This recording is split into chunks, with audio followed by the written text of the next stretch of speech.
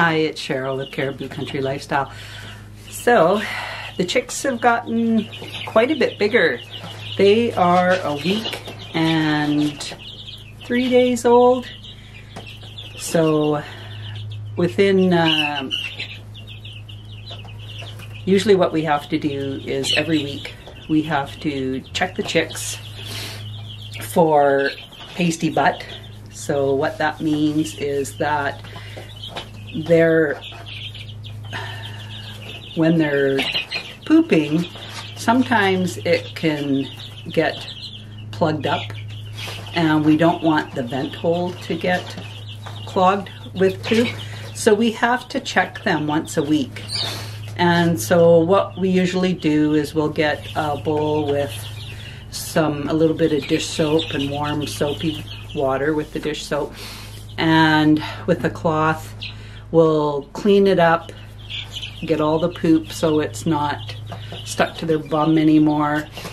And then we take a Q-tip and apply uh, just a layer, a light layer of Vaseline uh, around that area and so that it will help prevent um, from it to get the poop pretty much just gets clogged up and so yeah we just need to help them along with that.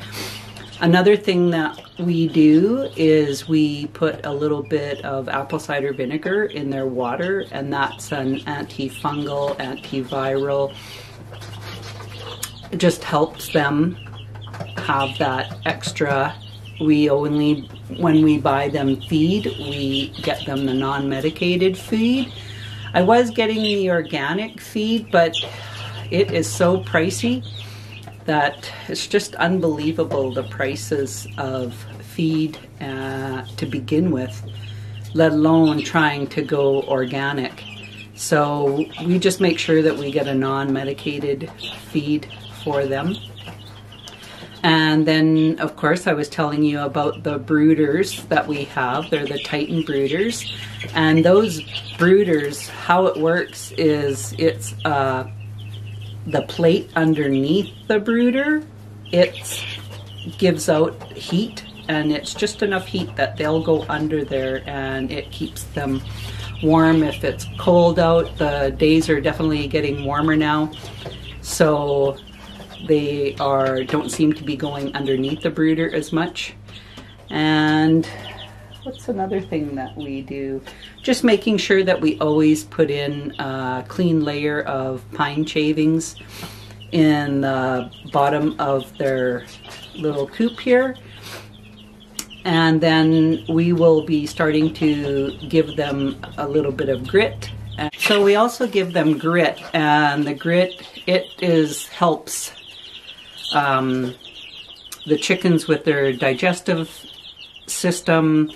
It helps to make it so that their digestive system functions well and breakdown of the food at, that they are eating, like their um, non-medicated food. It helps break that down. Also, the grit helps grind down the food into in the gizzard and just basically keeping their digestive system happy.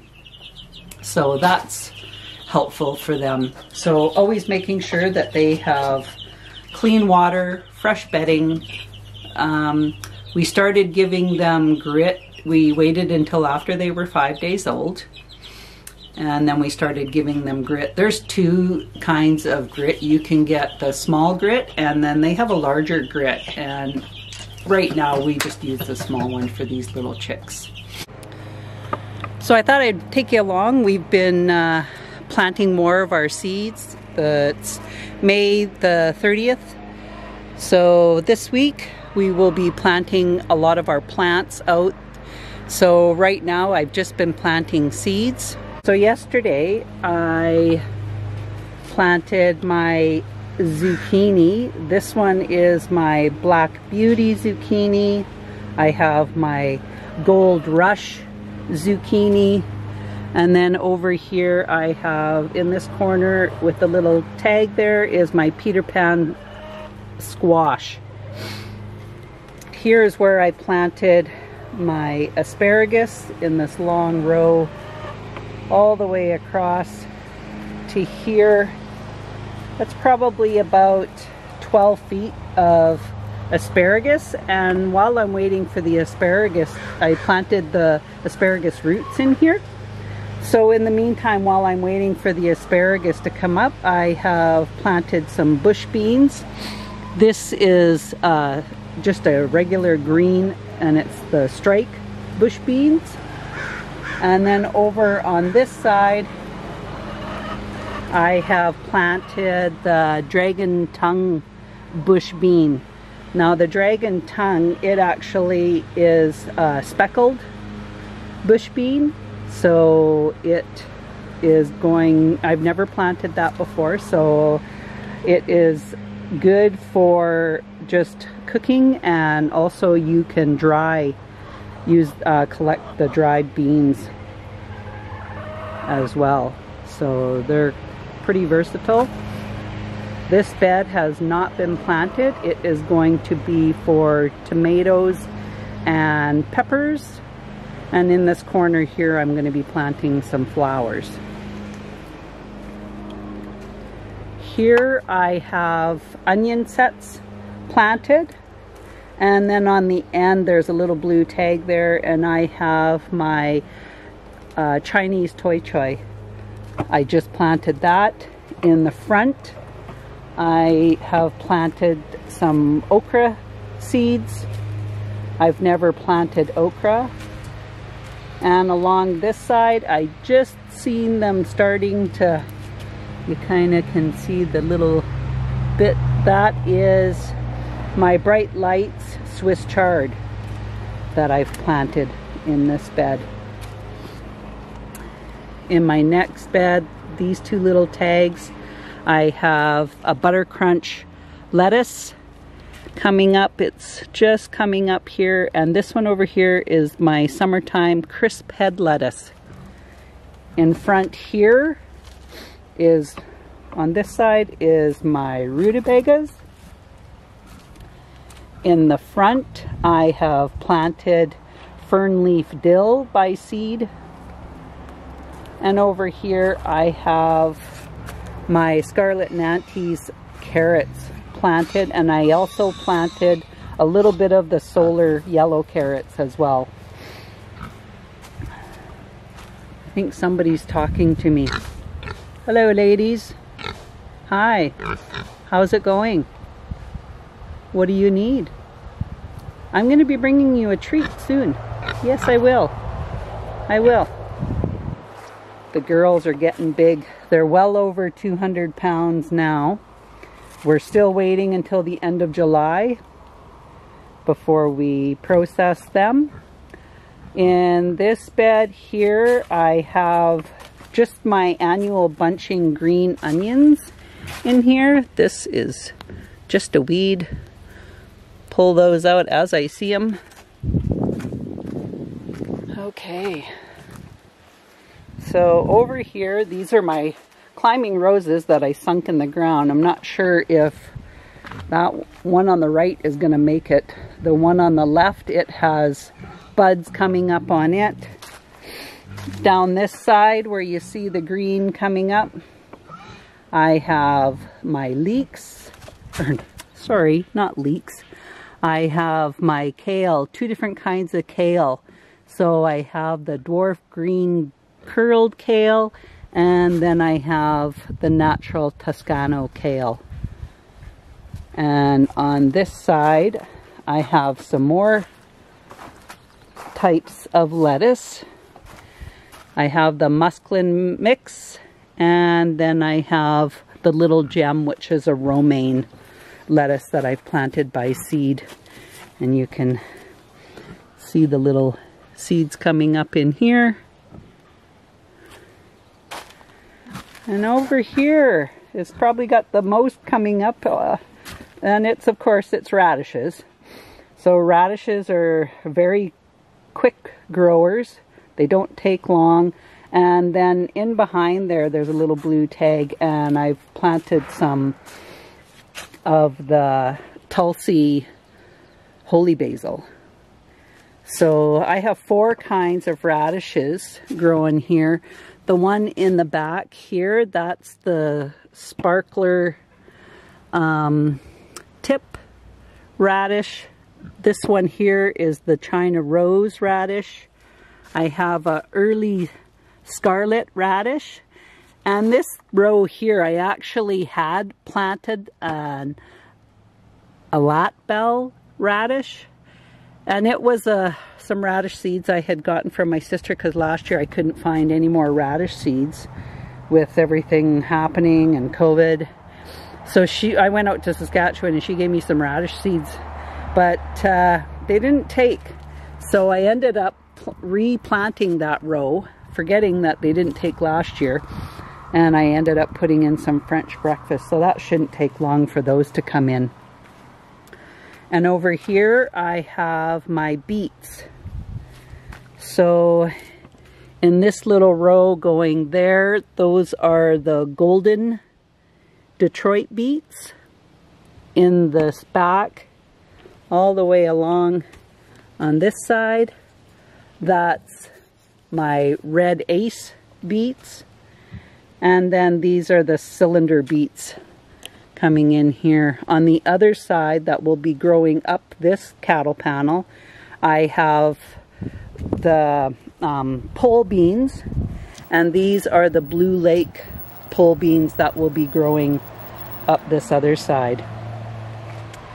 Over in this bed I did have my ra raspberries that I had gotten from my sisters from Saskatchewan.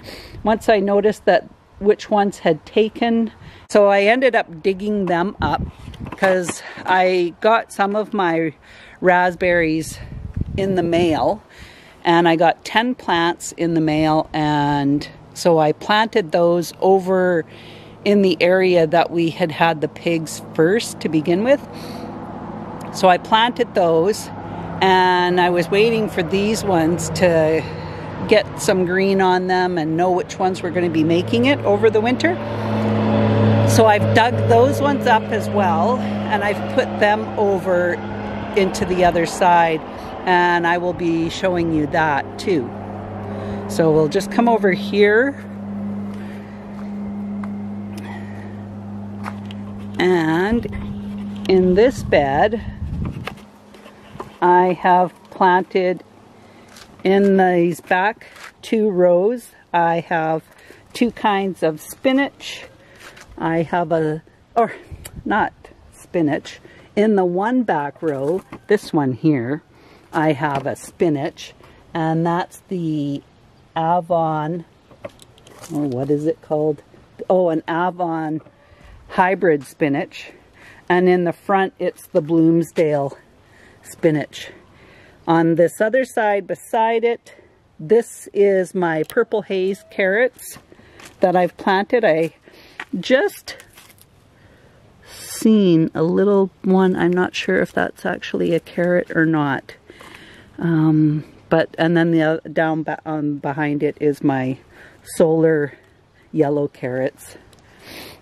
And over on this side that will be growing up this panel that is going to be my peas and they are just a sugar snap pole peas I actually prefer to grow the sugar snap pole peas as opposed to regular peas because it's just easier to eat the snap peas. I love snap peas.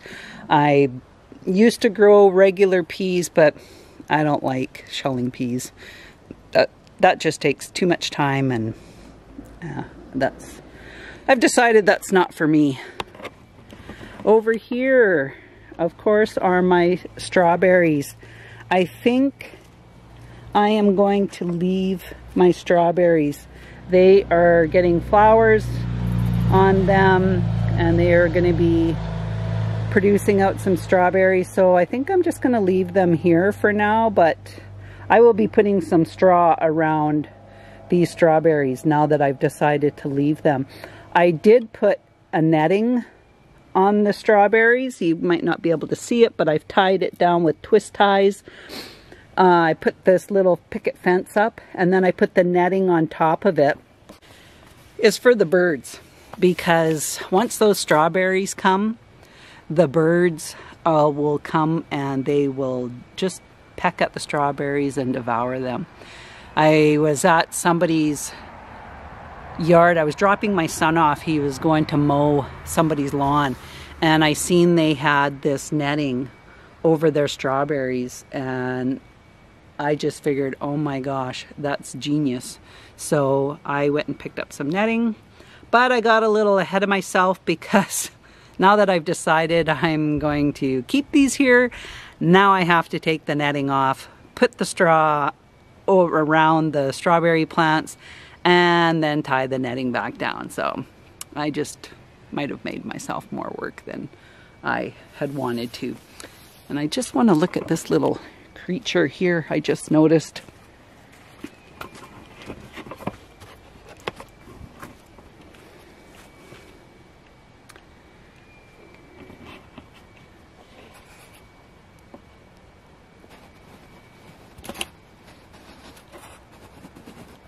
Can you see him? I don't know if he's a good caterpillar or a not a good caterpillar. At this point, I don't think any caterpillars are good, really. So, but first, look at this sour cherry tree. That has a lot of buds on it. We just I just bought this last year I got it for Mother's Day. My husband bought it for me. And it had quite a bit of foliage on it, quite a bit of uh, flowers. And then the deer came along and, of course, ate all of it off. So it's nice to have this fence around here so that the deer can't demolish everything that you end up working hard for. Now with a sour cherry tree, uh, we are a zone 3 here in the Cariboo. and this tree is actually a self-fertilizing. So what that means it's a self-pollinator. You do not need another tree for it to produce fruit. Like with an apple tree you need two of them. Um, a lot of your fruit trees you need two but with a, a sour cherry tree most of them are self-fertile and you don't need to have another sour cherry tree for it to produce fruit. So that's awesome.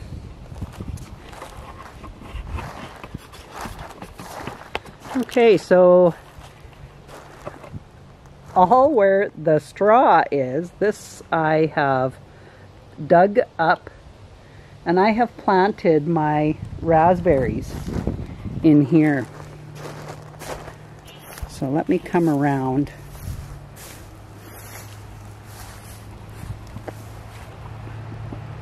So I don't know if you can see.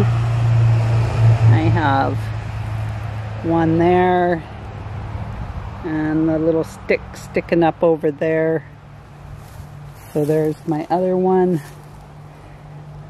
All together I have one, two, three, four, five, six, seven, eight, nine, ten, eleven, twelve, thirteen, fourteen, fifteen, sixteen, seventeen, eighteen, nineteen, twenty, twenty-one, twenty-two, twenty-three, twenty-four, twenty-five.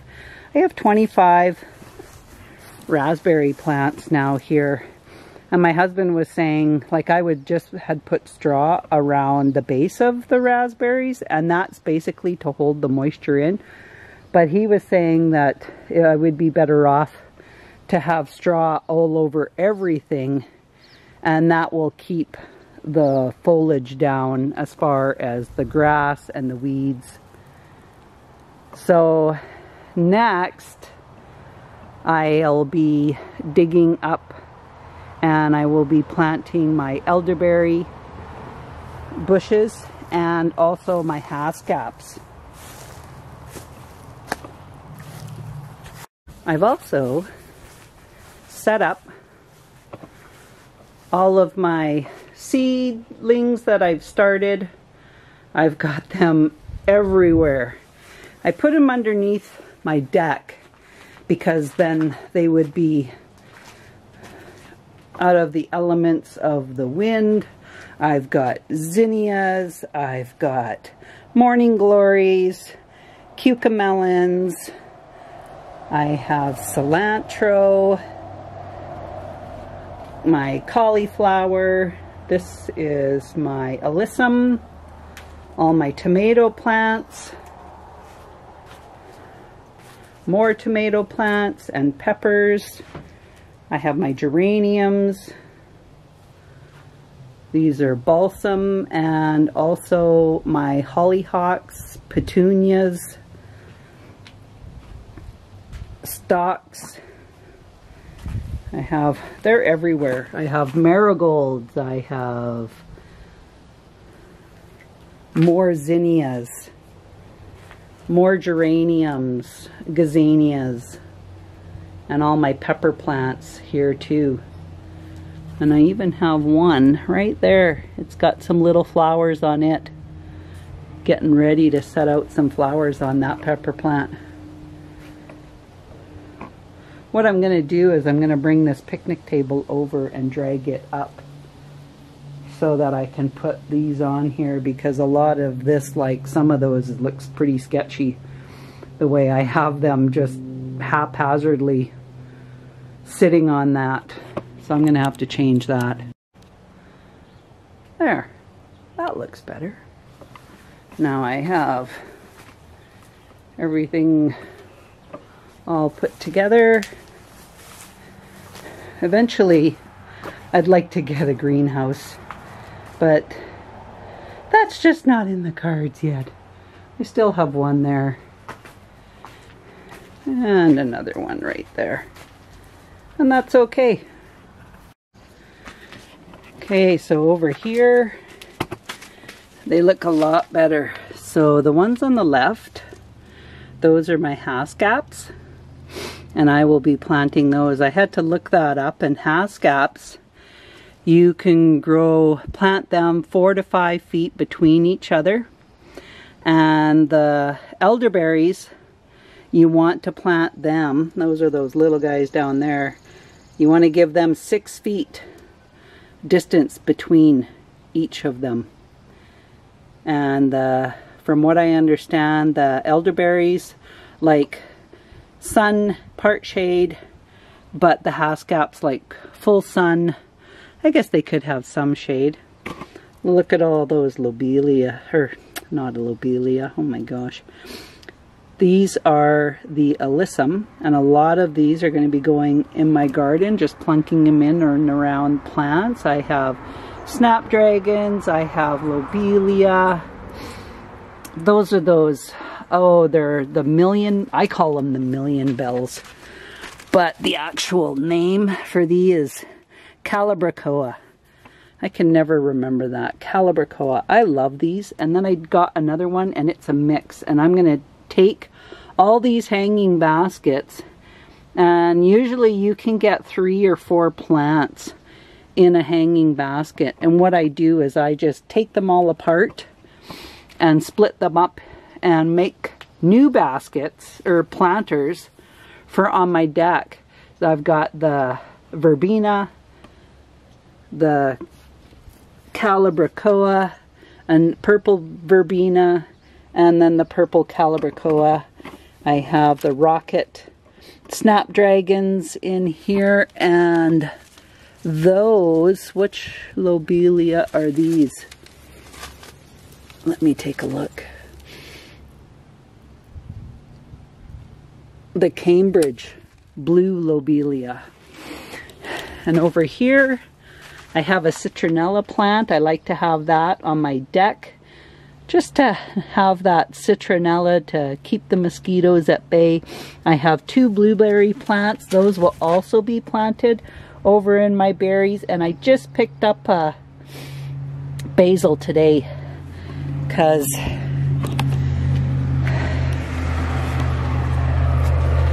the basil I started is like this big, maybe that big. So I decided to pick up another basil plant and I'm just going to plant my little basil in with that big basil. And that'll be on my deck in a little pot so I have easy access to it. I went to the store, I was hoping to get some mint plant because I plant started some spearmint, but I have one little plant.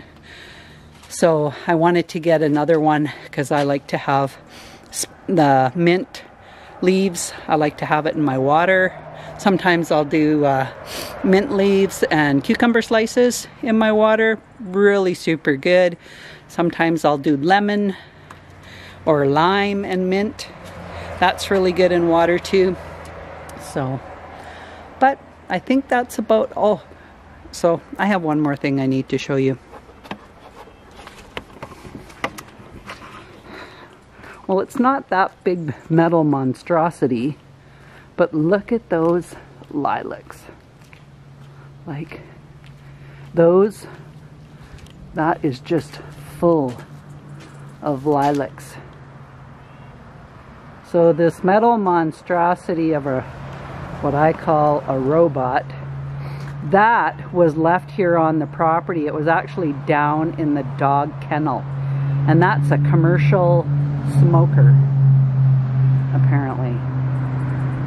But we did get my brother-in-law's trailer and we are planning to use it to pick up a couple more round bales of straw because we definitely need more straw, especially for over in uh, berries in the fruit side of it.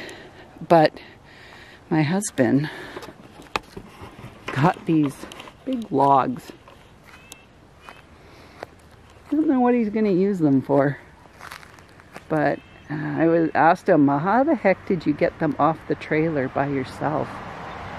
And so he's such a MacGyver he tied a chain around the logs and then attached it to the tree. And these were on this trailer over here. So they were on the trailer. He attached the chain around the logs and then pulled the trailer away and the logs slid right off. And then he has these railway ties that he has the logs on top of. course, now he says he can't get the chain off of it, but I'm sure he'll figure something out. He's good at that. More lilacs. I have probably three different patches with lilacs. I absolutely love them. So anyways, we borrowed my brother-in-law's trailer here. We're going about an hour away from where we live to go pick up two round bales of straw this week. And we still need one more cattle panel. Look at that. All those beds. What a glorious sight. Anyways, that's all I have for today. I'm finding it hard to do these videos when you work all week and then you're trying to get things done in the evenings and then you're trying to get more done in the weekend. So I'm going to sign off. My battery's getting low and um, I'll see you until next time. If you have any comments, put them down below. If you haven't hit the subscribe button, hit it and we'll talk again next time.